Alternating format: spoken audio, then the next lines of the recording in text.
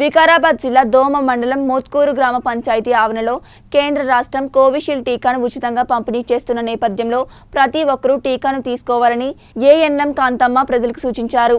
అలాగే వారికి టీకాను అందించారు. ఈ కార్యక్రమంలో సిబ్బంది ప్రజలు పాల్గొన్నారు.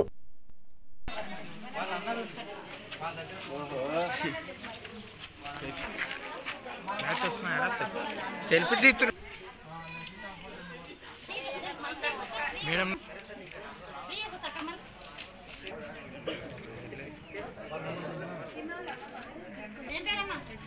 ఎవరైంది సార్ యాదమ్మ వచ్చింది. అందుకే చెప్తున్నా అందుకే దూరం జరగండి అని చెప్తున్నా ఎంత కాలితేనే మనం కానీ శుద్ధి చేయమంటాం బాగా చూడు కన్ను కూడా పెద్ద